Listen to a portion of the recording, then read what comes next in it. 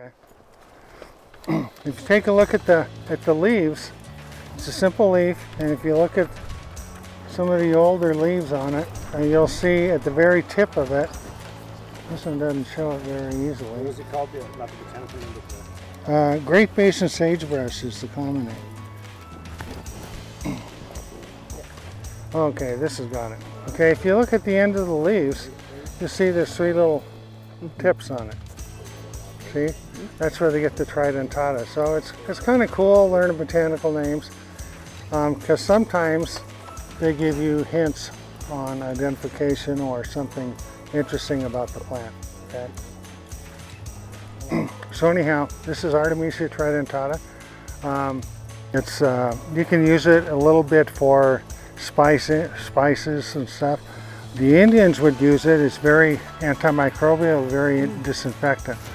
So they would actually dry this leaf and powder it and uh, um, use it for for infections. They'd use it for diaper rash and stuff like that for babies.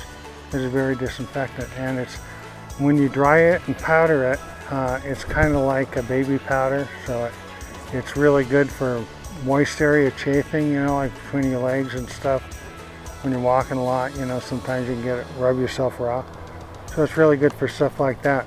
The Indians would also use this as a, to help in food preservation. So they would take food preservation.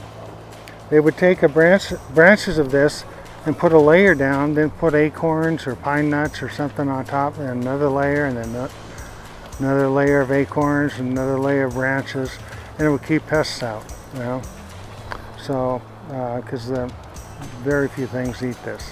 You know, this is the indicator plant of the Great Basin Desert. And there's only three deserts in, in the United States. There's four in North America. One is entirely in Mexico. It's a Chihuahuan desert. Um, the other desert, Paul is in the middle of it, the Sonoran or the Colorado Desert. Um, and we're right on the verge of the Mojave Desert, we're very familiar with. And then the, the desert north of us starts around basically, you know, Bishop area and goes on north, uh, southern Idaho, eastern Oregon, all the way over into Utah.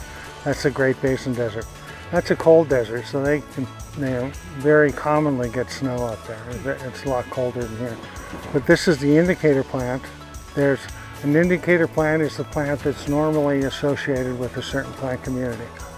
So this is the identification of the Great Basin Desert. Even though it escapes in some places, it goes as far south as um, the San uh, San Jacinto Mountains. There's a valley, I forget the name of the valley, but there's a pretty big population of Great Basin sagebrush there too. and then after that, it's very sparsely seen going all the way into Mexico. but you'll find it going all the way up into even southern Montana.